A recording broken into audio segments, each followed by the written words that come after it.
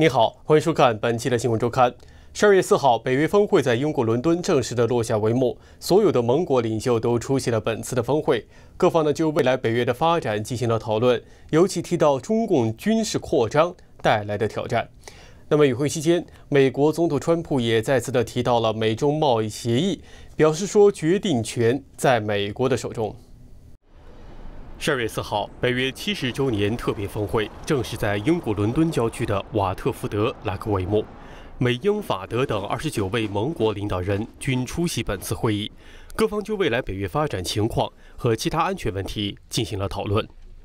东道国英国首相约翰逊在开幕式上表示，七十年来，北约为二十九个成员国提供了坚固的屏障。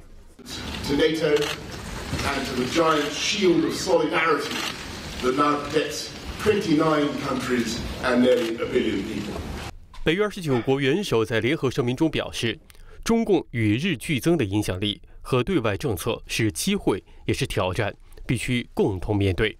斯托尔特贝格指出，北至北极圈，南至非洲，中共投资了许多基础军事建设，中国已经成为继俄罗斯之后北约的重点防范对象。就这个举动呢？他从反面证实了中共对欧洲的威胁和这种渗透呢，可以说已经达到了史无前例的这种程度。斯图尔滕贝格指出，中共在十一月兵式上展示的新型洲际弹道导弹射程已经直接威胁欧洲和北美，北约已经开始着手解决将中共纳入军备控制的问题。自2006年川普就任美国总统后，一再敦促北约盟国缴纳应付的经费，让北约军费连年大幅增长。斯图尔滕贝格称，北约得到的经费已经是史无前例，这也让北约变得更加强大。European allies and Canada have added 130 billion US dollars, and by the end of 2024, that figure will rise to 400 billion US dollars. 这个可以说是北约自冷战结束以后，它这个军事联盟色彩日渐淡薄以来呢。第一次重新强化了这个北约作为军事联盟存在的基础。峰会前，川普和北约秘书长斯图尔滕贝格举行了场外会晤。谈话期间，川普向媒体表示，美中贸易协议没有最后期限，或许等到明年十一月美国总统大选后签署比较好。I have no deadline now. In some ways, I think it's better to wait till after the election. You want to know the truth? 而双方能否达成协议，则取决于他。The China trade deal is dependent on one thing: Do I want to make it? Because we're doing very well with China right now, and we can do even better with a flick of a pen, and China's paying for it. 川普提出等到美国大选后再签美中贸易协议，引发热议。美国商务部部长罗斯对此向美国媒体解释说，总统这一决定会削弱中共施压美方的能力。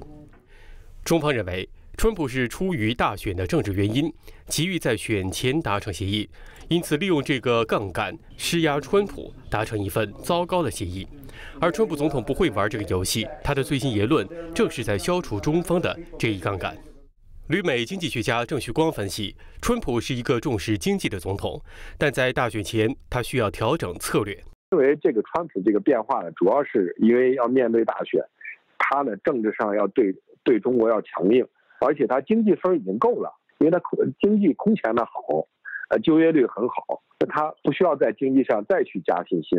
郑旭光表示，中美贸易协议还受到很多其他因素的影响，例如 NBA 事件令美国民众对中共反感，香港问题也让人无法信任中共。中方说中英联合声明是已经无失效了，这也就让你跟中国人。再去谈判、再去签协议的这个都变得非常困难。中英联合声明，这都是联合国备案的法案，你都不尊重，那我们现在跟你签一个这这种协议有什么用呢？罗斯早前曾对福克斯商业网表示，如果美中没有在十二月中旬达成协议，将提高对中国商品的关税。美国财长姆努钦和白宫首席经济顾问库德洛也接连强调，不会给达成协议设置期限。We're going to just take that day at a time. Uh, talks around the clock right now. Uh, we are close. We're not quite there yet. The good mood. 库多勒表示，目前没有举办川喜会的计划。如果川普对谈判进度不满，就会毫不犹豫地加税。